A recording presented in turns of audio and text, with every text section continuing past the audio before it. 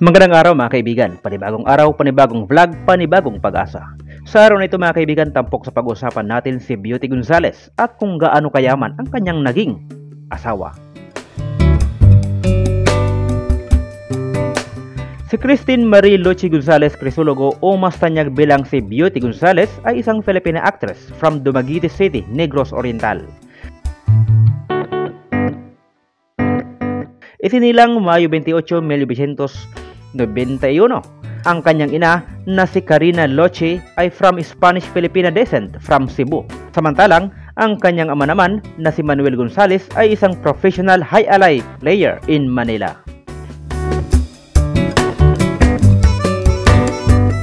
Ang kanyang mga magulang ay nagmamayari ng coconut at sugarcane farm in Pamplona, Negros Oriental.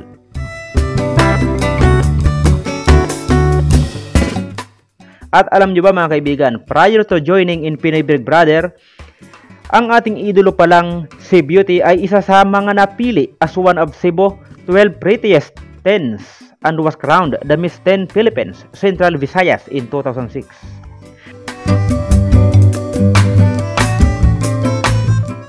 Napangasawa nga ni Beauty ang isa sa pinakamayamang Filipino businessman dito sa ating bansa na walang iba kundi si Norman Crisologo. Na-engage ang dalawa March 2017 at napakasal nga pagdating ng buwan ng Mayo sa Tagaytay. Nagkaroon nga ang dalawa ng isang napakagandang anak na si Olivia Ines. Namana ni Ines ang kagandahan ng kanyang ina. Mga kaibigan, bago natin ituloy ang kwentuhan at alamin kung gaano kayaman itong si Norman Crisologo na kanyang asawa ay pakipindot naman muna ng subscribe button at bell button para lagi kang updated sa mga videong katulad nito.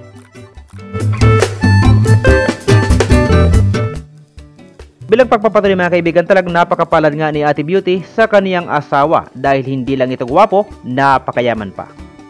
Ayon sa ginawa nating munting pananaliksik, ang kanyang asawa ay mayroon lang naman mga kaibigan ng total network na pera na umaabot ng approximately 15 million US dollars. Hindi pa kasama dyan mga kaibigan ang ilang kayamanang hindi pa niya ipinapaalam. Maliban pa dyan, hindi pa kasama dyan ang pera mismo ni Beauty. Kaya naman talagang napakaswerte ng kanilang anak na si Ines. Ika nga, born with a golden spoon.